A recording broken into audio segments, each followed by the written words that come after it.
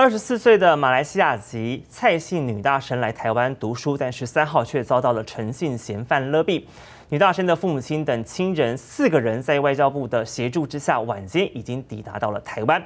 针对女儿遇害这件事情，蔡爸爸表示，女儿是来台湾读书的，都要毕业了，却遇到这样的事情。而不管谁对谁错，杀人就是错。